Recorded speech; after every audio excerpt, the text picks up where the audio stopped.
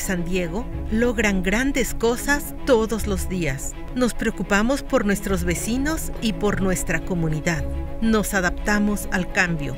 Hacemos que nuestros líderes rindan cuentas.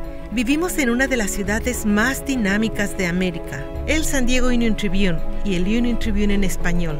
Hemos contado la historia de San Diego por más de 150 años. Bronca, ¿qué tan buena eres para el fútbol? Para el fútbol no soy muy buena, pero para otras cosas soy requete buena. Mm, ¿Y tú, Pitufo? ¿Qué tal eres para el base? Para el base, la neta, prefiero verlo que jugarlo, compa. Entonces, ¿para qué son buenos? ¿Lotería? Llegó la lotería del Freeway Show. Escucha a las 3 de la tarde y anota los cuatro personajes de la lotería correctamente y podrías ganar 500 dólares. Oye, Bronca, te ves muy bien como la sirena, ¿eh? Ay, gracias, mi soldadito. Estamos transmitiendo desde San Diego, California, para darles la bienvenida a la edición virtual del San Diego Union Tribune Festival of Books o el Festival de Libros de San Diego, presentado a ustedes por el San Diego Union Tribune. Mi nombre es Tania Navarro y formo parte del equipo de noticias de San Diego Union Tribune en español. Y en esta ocasión estoy ante ustedes para presentarles a una autora y periodista de origen colombiano, galardonada con un premio Emmy copresentadora del principal noticiero de la cadena Univisión y copresentadora del show de Univisión Aquí y Ahora. Ilia Calderón es la primera copresentadora de un noticiero hispano eh, afro-latina en los Estados Unidos. Y hoy nos viene a platicar sobre su primer libro, My Time to Speak, que fue traducido al español como Es mi turno, un viaje en busca de mi voz y mis raíces. Un libro muy poderoso y con una historia muy personal. Ilia, bienvenida a nuestro Festival del Libro de San Diego. Primero que nada, tengo que felicitarte por tu publicación. Eh, un libro que llegó en un momento pues casi perfecto para hablar del racismo en este país. Eh, tu libro fue publicado eh, en medio de la pandemia, con todas alrededor de unas protestas por todo el país por la muerte de George Floyd, justo antes de que finalizara turbulentamente la presidencia de Donald Trump. Y eh, platícanos, por favor, quiero escuchar de tus propias palabras cuál fue la inspiración para, para llevar a este libro. Tania, muchísimas gracias por esta invitación tan especial. Feliz de estar en la Feria del Libro de San Diego, encantada. Desde el año pasado había querido estar, creo que no pudimos organizar las cosas, pero bueno, aquí estamos, nunca es tarde para hablar de este tema. Eh, tú lo dices, este tema lastimosamente es un tema que está presente y, y creo que el libro es oportuno no solamente ahora, sino que lo fue el año pasado durante el lanzamiento y las protestas eh, del verano, lo era 10 años antes, lo era 30, 50, 70 años antes. Lastimosamente eh, es un libro oportuno porque hay que hablar del tema del racismo, hay que abordarlo, hay que llamar el racismo por su nombre y, tenemos que entender y educarnos todos con respecto a lo que provocan estos actos de discriminación, de racismo y de odio. Si no entendemos la raíz, si no nos educamos, si vemos de dónde viene eh, todo esto, no vamos a poder erradicar esta, eh, este mal, que es uno de los peores males que, que afecta a cualquier sociedad, llamado racismo. La inspiración, bueno, la inspiración eh, la encontré en todos esos mensajes que durante toda mi carrera he recibido de personas que saben un poquito de mí, que conocen un poquito de mi vida por una entrevista y que, y que se sienten motivadas, que se han sentido em, inspiradas por la historia de una inmigrante colombiana em, que pudo lograr su sueño aquí en los Estados Unidos. Así que este libro es, es mi historia, pero lleva la historia de muchísimas personas que, que han llegado a este país, que no la han tenido fácil en sus países y tampoco en los Estados Unidos. Em, y, y, revuelve y, y reúne eh, en todas estas letras las experiencias de todos nosotros, porque yo soy eso, una inmigrante más.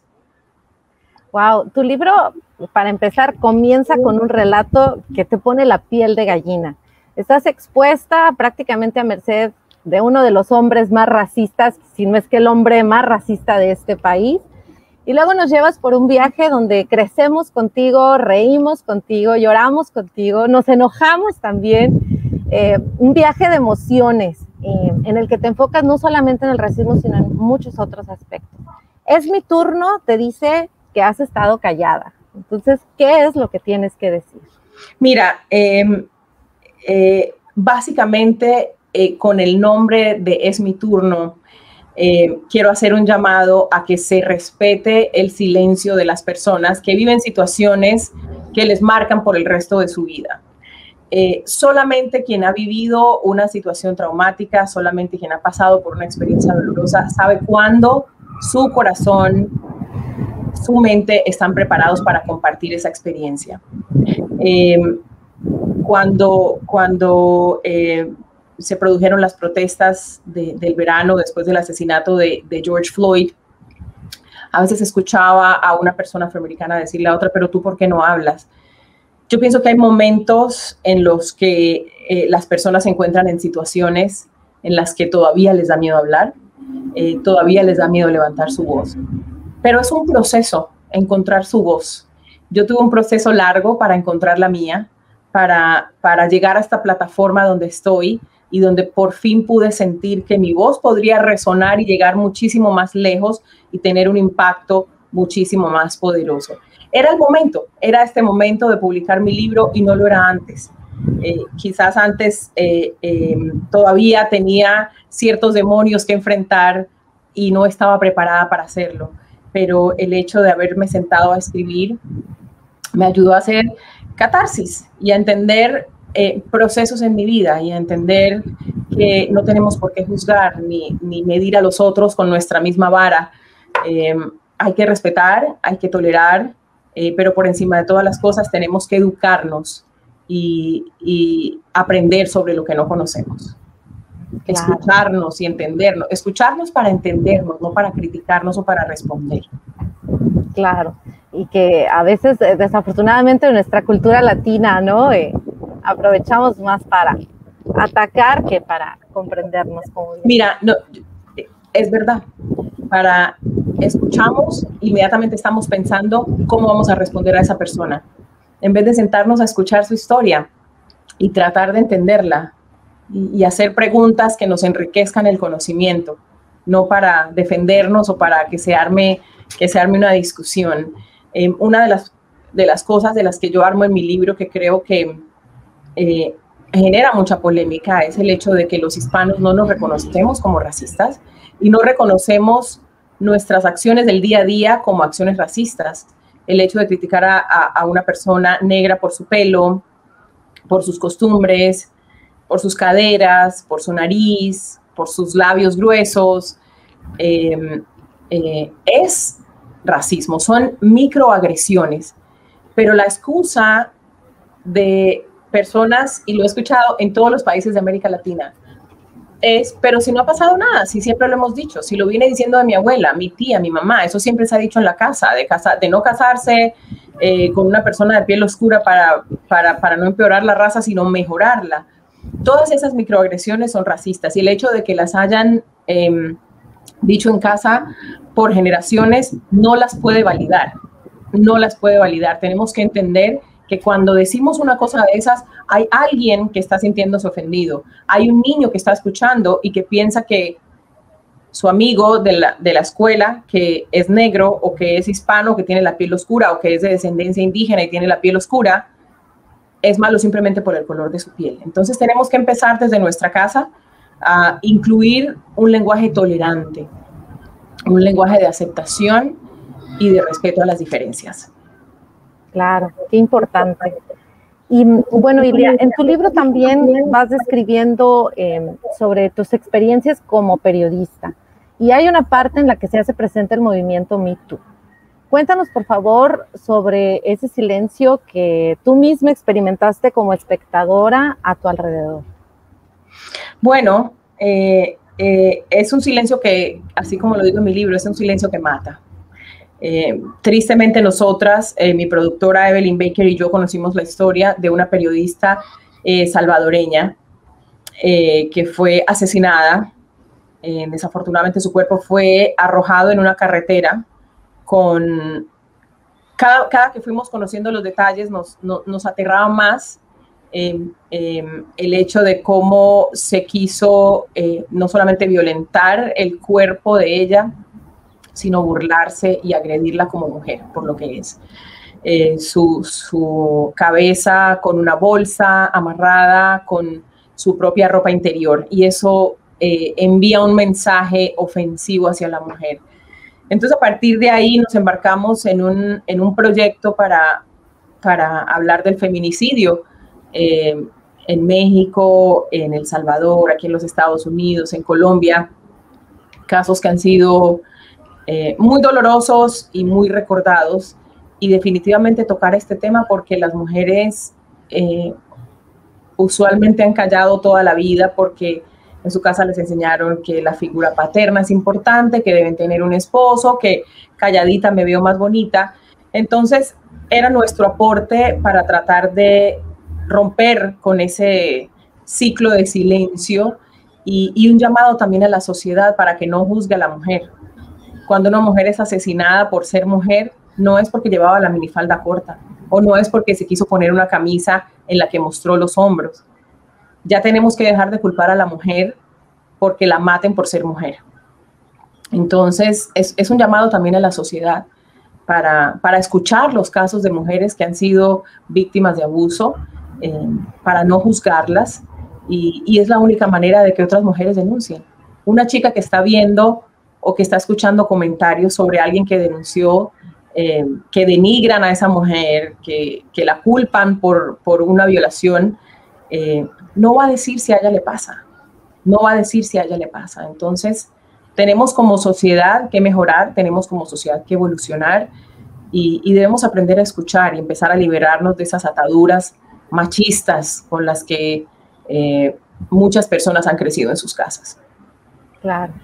Em, luego también hay una parte en tu libro en la que habla sobre este rinconcito de la tierra que habitamos los californianos. Em, compártenos, por favor, tu experiencia em, o lo que viviste en esa visita a Tijuana y a la región de San Diego, eh, que pues no, no fue turística, desafortunadamente, veniste con la caravana migrante, veniste a descubrir sus historias. ¿Y por qué decidiste integrarla en tu libro? El movimiento de las caravanas eh, es un movimiento que, me llamó muchísimo la atención. Yo estuve y, acompañé las caravanas en varias ciudades de México y luego en los Estados Unidos. Em, y, simplemente escuchar las historias de las familias, poder tener la capacidad de mostrárselas a nuestros televidentes y, y poder tener la oportunidad de contarlas en un libro, me pareció importante porque es muy fácil juzgar desde desde el, sofá de tu casa es muy fácil decir, pero yo como mamá no haría eso, pero yo como papá no haría eso, pero, pero ¿cómo es posible que arriesguen a sus hijos? Eh, yo pienso que nadie quiere que, sus, que a sus hijos eh, sufran, nadie quiere que a sus hijos les hagan daño, pero muchas de estas familias no tienen otra alternativa que lanzarse a ese viaje peligroso para poder encontrar un futuro, porque lo que están dejando atrás es peor y a veces el riesgo de, lanzarse a cruzar la frontera y de caminar es, es, es muchísimo menor que, que, lo que les puede pasar si se quedan en sus países. Sus hijas violadas, sus, hijos obligados a, a, que se unan a las pandillas, la falta de oportunidades de trabajo, la tierra que no produce por la crisis climática. Entonces, es importante para entender, escuchar esas historias. Nadie se somete a un sufrimiento de esos como lo que pasaron las personas que venían en la caravana y como muchas personas que, que cruzan la frontera. Eh, nadie lo hace porque simplemente quiere. Hay una gran necesidad detrás de eso y, y hay que escuchar esas historias para poder entenderlos. Claro. Y bueno, ahora que lo mencionas, eh, también, además de ser autora, además de ser periodista, eres madre de familia. Hay una carta hermosa al final de tu libro y una dedicatoria también al principio para tu hija. Em, quisiera que me contaras esta parte. Em, estamos formando, quienes ya eh, pues emigramos a este país, estamos formando nuevas generaciones y queremos hacerlo pues muchos de nosotros lejos de ese machismo en el que crecimos, ¿no? Lejos de, esa eh, influencia de Latinoamérica que a veces venimos arrastrando, aunque emigremos a este país. Entonces quiero que me platiques como mamá, em, ¿qué sentiste pues ahora al, ver a tu hija crecer en este, en este país y, pues todos estos consejos que le das a ella a través también de tu libro? Mira, no es fácil criar un hijo em, en ninguna sociedad porque obviamente los hijos en un, en un, momento están expuestos a lo que piensan otras personas, a lo que piensan otras familias, y, tratar de desarrollar su, su, mente y su espíritu eh, comprensivo, tolerante, pero también crítico para que sea capaz de decir en su cabeza, esto no está bien, eh, y que sea capaz de alzar la voz si alguien lo necesita y no puede. Eh, es, es, una tarea difícil, no te voy a decir que es una tarea fácil, es una tarea, es un trabajo de todos los días y requiere sobre todo mucha preparación y mucha educación de nosotros como padres antes de abordar un tema con nuestros hijos. Eh, pero, pero por encima de todo, el lenguaje que se usa en la casa, el arte que hay en la casa, los libros que se leen en la casa, los libros sobre, sobre figuras prominentes, negras, indígenas, inmigrantes, no solamente son para los niños negros, indígenas e inmigrantes. Los niños de raza blanca deben saber y deben conocer esas historias, deben saber el aporte eh, y el valor histórico que tienen estas personas eh, y, lo mucho que han aportado a nuestra sociedad. Entonces, como padres, debemos prepararnos antes de abordar cualquier tema con nuestros hijos. Debemos, debemos revisar lo que nosotros pensamos y lo que les vamos a decir. A veces no da tiempo de prepararte, pero, pero también a veces los niños no necesitan, no necesitan saber más de lo que en ese momento te están preguntando. Hay momentos en los que las conversaciones pueden ser más largas. Y hay conversaciones que son de muchos días. Yo he revisitado muchísimas veces con Ana durante sus, las diferentes etapas de su vida em, el tema de la tolerancia, el tema de compartir, porque lo vive en distintas etapas de su vida. Entonces, estas conversaciones son de siempre y por eso nosotros tenemos que educarnos, prepararnos, leer, em, hablar con personas, con consejeros, escuchar las historias de otras personas em, para, para poder tratar de cortar ese círculo machista o de racismo y pensar que nosotros tenemos en nuestras manos em, la formación de un ser humano que debe ser excepcional, de un ser humano que sea de gran aporte para nuestra sociedad. A veces con cosas tan simples como yo lo cuento en, la primera carta que le escribo a mi hija Ana sobre por qué la tengo que preparar para enfrentar el racismo, em, yo menciono una, una, experiencia que pasa en, en muchas familias. Cuando hay un choque y está involucrada una mujer, a veces, o cuántas veces el papá dice, ah, tenía que ser una mujer la señora dijo algo, la mamá, la esposa dijo algo, defendió a la mujer, se quedó callada. Entonces, en los niños que están atrás van a decir, sí, es que las mujeres no saben manejar, es que las mujeres siempre se chocan, es que las mujeres son brutas, es que... Y se van creando conceptos erróneos y se van creando estigmas em, alrededor de la mujer, alrededor de un género, alrededor de una raza, alrededor de de unas personas eh, con, diferente acceso em, económico. Entonces, es muy importante que, revisemos lo que conversamos día a día y las frases eh, que decimos en casa para que nuestros hijos puedan crecer en un ambiente de tolerancia y de respeto. Claro, aunque, aunque no creamos, siempre nos están viendo, ¿no? Siempre nos están escuchando y, y ellos aprenden más de nuestro ejemplo y eso sí es de verdad. Aprenden más de lo que nos ven hacer que de lo que nosotros le decimos que hagan. No le puedes decir no mientas cuando te está viendo mentir. Entonces el niño va a decir, bueno, si mi mamá miente, mi papá miente, yo puedo hacerlo también. Claro. Y le platícanos, por favor, eh, una vez que ya publicaste tu libro, pues estamos viviendo en un mundo diferente. Me imagino que no, no pudiste hacer tu tour como otros autores en algún otro momento pero a través, me imagino, pues de eventos virtuales como este o a través de, tu experiencia ya como autora, ¿cuál ha sido eh, lo más gratificante tras publicar este libro? La respuesta, la respuesta de la gente. En, todos estos eventos em, que, he realizado interactivos, eh, los mensajes que he recibido a través de, mis redes sociales, de la gente que ha leído el libro, cómo lo ha impactado. Escribir un libro no es fácil, revisitarlo, editarlo, agregar cosas, quitar cosas, sentarte, dejar a tu familia un fin de semana para sentarte a escribir, quita mucho tiempo quita mucho tiempo, mucho esfuerzo, dedicación, amor, lágrimas, volver a esas historias que, fueron a veces dolorosas, eh, recuerdos. Entonces, eh, es un gran esfuerzo y, para mí lo más importante es que, que haya podido inspirar y eso hace que todo el esfuerzo haya valido la pena. Perfecto. Platícanos también cuáles son tus planes para el futuro como autora y como periodista. ¿Qué sigue para Ilia? Bueno, yo por ahora no, no estoy pensando en escribir otro libro, la verdad. No por ahora, por lo menos hasta que mi hija esté más grande. Em, y, y, ahora, pues, dedicarme a mi trabajo, que es nuestra comunidad hispana en los Estados Unidos. Eh, ellos son la razón de ser de nosotros. Sus causas son nuestras causas. Y, y hay muchas hay muchas cosas pasando eh, en nuestra sociedad, así que nosotros somos la voz de los que no tienen una voz y tenemos que entender la responsabilidad que tenemos en las manos, eh, asumirla con seriedad y, por ahora mi dedicación es absolutamente a la, al periodismo y, a, responderle ¿no? a, nuestra comunidad hispana. Perfecto. Ilia, también quiero preguntarte, ¿cómo sigues conectada con tus raíces?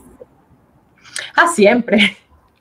Siempre, con todo, con la música, con la comida. Voy a Colombia por lo menos dos veces al año. Bueno, la pandemia me lo impidió, pero, pero visito constantemente Colombia. Eh, tengo mis amistades con las que me mantengo en, constante, eh, en constante comunicación. Y, y bueno, yo pienso que es que si lo llevas, lo vives y lo eres nunca te vas a olvidar. Me duelen las cosas que le duelen a mi familia. Eh, he creado unas, unas becas para poder eh, apoyar a jóvenes líderes em, de Colombia y de América Latina a que, a que asistan a un foro mundial que es, eh, empieza, por cierto, pasado mañana. Y, y, bueno, yo creo que hay, hay alguna manera de volver de devolver, siempre, siempre hay que pensar en tu gente, siempre hay que pensar en de dónde viniste. Si no lo sabes, entonces para dónde vas. Si no lo tienes claro, entonces es muy difícil que encuentres un objetivo en la vida. Em, también tenemos un programa con la Fundación de nuestra familia para proveer em, eh, útiles escolares a cientos de niños en el pueblo donde yo nací, en Ismina. Así que nunca, nunca, nunca he dejado a mi tierra eh, olvidada, siempre la llevo en mi corazón, conozco las necesidades y, siempre estoy ahí. Perfecto. Y bueno, compártenos para, para todas estas eh, pues jovencitas que están apenas eh, creciendo, que desean una profesión, desean sobresalir en los Estados Unidos. Quiero que tú nos compartas cuál fue el mejor consejo que recibiste mientras crecías la disciplina es, es lo que te va a llevar a donde tú quieras. A veces sacrificios que luego se van a ver recompensados. Yo he tenido que trabajar horarios que no hubiera querido trabajar. He tenido que trabajar fines de semana, he tenido que trabajar en la mañana, he tenido que llegar a mi casa durante mi embarazo y los primeros cinco años de Ana. Yo llegaba a mi casa a la medianoche. Mi hija pensaba que yo no dormía en casa eh, eh, porque nunca me veía, sino hasta el otro día. Entonces, cuando haces las cosas con pasión, cuando te dejas aconsejar, escuchas, observas, aprovechas las oportunidades, a veces hay riesgos. Cuando estás joven, cuando estás joven es mucho más fácil tomar ciertos riesgos de mudarte de ciudad, de, eh, poder decir no a lo que no te hace feliz y, aventurarte a algo nuevo ya cuando tienes tantos años a lo mejor no es tan fácil, ¿verdad? Tienes una hija, un esposo, pero, pero, es, pero la disciplina hace parte de todo, ha hecho parte de todo en mi vida. Organización, dedicación a lo que te gusta, em, preparación. Em, nunca me decía mi mamá, cuando, te, cuando no te abren una puerta, la más duro. Y si tampoco te la abren, hay que seguirla tocando más duro. Nunca debemos cansarnos de buscar oportunidades. lastimosamente la televisión es un, es un medio muy pequeño, estar en cámara es un medio muy pequeño, pero el periodismo también se puede ejercer de muchísimas otras maneras. Em, así que, que, hay que hay que tocar las puertas, hay que insistir, pero también hay que escuchar y hay que entender y, y hay que tener, como yo digo, un plan B y hay que tener alternativas y, y, hay que soñar en grande, hay que soñar en grande. Perfecto. Pues bueno, como este es un festival de libros, Ilia, me gustaría que nos compartieras qué libro estás leyendo ahora o qué leíste recientemente. Bueno, me acabo de leer el libro de Jorge Ramos, 17 minutos, que acaba de salir, que está buenísimo sobre su, sus 17 minutos con la, la frustrada entrevista a el gobernante de Venezuela, Nicolás Maduro. Y también me acabo de leer el libro de la despedida de Gabriel García Márquez a su, a su esposa Mercedes Barcha, escrito por su hijo Rodrigo García, que está buenísimo. Esos son los últimos dos libros que me leí en las, en las últimas dos semanas, así que se los recomiendo. Y por supuesto, es mi turno. Perfecto, Ilia. Siempre. Perfecto, pues muchísimas gracias. Yo no sé si haya algo más que tú desees agregar a, esta entrevista.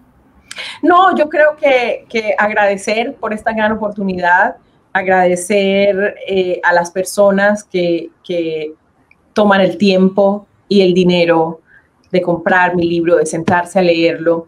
Espero que los inspire, espero que, que los motive y, y lo que siempre digo, escucharnos, escucharnos, escucharnos para entendernos y no para responder ni para criticarnos. Muchísimas gracias por esta gran oportunidad. No, pues muchísimas gracias a ti. De verdad que los comentarios son lindísimos de tus lectores. Eh, al menos lo que, lo que pude ver en Amazon, tanto en inglés como en español, te dejan comentarios bellísimos y, y sus experiencias también te las comparten ahí. Así que eso es, eso es fenomenal. Eso quiere decir que está dándose esa retroalimentación que, a veces no se logra, ¿no? Esa es la idea, esa es la idea y, yo pienso que cuando, cuando recibes esos mensajes entiendes que vale la pena todo lo que invertiste en, en escribir un libro. Así es, pues Ilia, muchísimas gracias por acompañarnos, por regalarnos tu tiempo y por ser parte de nuestra celebración por los libros y la lectura. Muchísimas gracias, gracias a todos ustedes. Adiós. Gracias. Y a quienes nos ven, los invitamos a que adquieran el libro Es mi turno un viaje en busca de mi voz y mis raíces de Ilia Calderón. Lo pueden encontrar con alguna de las librerías que participan en el Festival of Books y eh, pueden encontrarlas todas las librerías juntas en el sitio bookshop.org diagonal shop diagonal SDFOB. Y ahí pueden encontrar la sección en español, en donde están a, la venta los libros que estamos presentando eh, desde San Diego Union Tribune en español. También les recordamos que este evento lo realizamos para apoyar al Consejo de Alfabetización de San Diego. Por favor, considera realizar un donativo visitando literacysandiego.org. Y por último, los invito a que sigan disfrutando del Festival de los Libros de San Diego, ya que tenemos todo un programa de actividades con paneles de autores, más entrevistas y entretenimiento en vivo en nuestra segunda edición virtual completamente en línea. Todos los videos también estarán disponibles en el sitio sdfestivalofbooks.com. Para más noticias en español, los invito a que visiten nuestro sitio utenespañol.com. De nuevo, muchísimas gracias por acompañarnos y por ser parte del festival. Yo soy Tania Navarro y les doy las gracias por acompañarnos. Hasta la próxima. News, entertainment, sports, and much more. In English, Spanish, and Spanglish. Watch Nuestra Voz today, presented by the San Diego Union Tribune and the Los Angeles Times. Join hosts Luis Cruz and Paola Hernandez Jao as they bring you in depth stories and features from these two award winning news organizations you know and trust. Watch Nuestra Voz today on Cox Cable Your View, Channel 1004. Informarte es lo que nos mueve. A lo largo y ancho de esta región. Sin fronteras. Sin obstáculos. Por nuestra comunidad y sus historias. Somos tu equipo. Somos Telemundo 20. De lunes a domingo, cuenta con nosotros.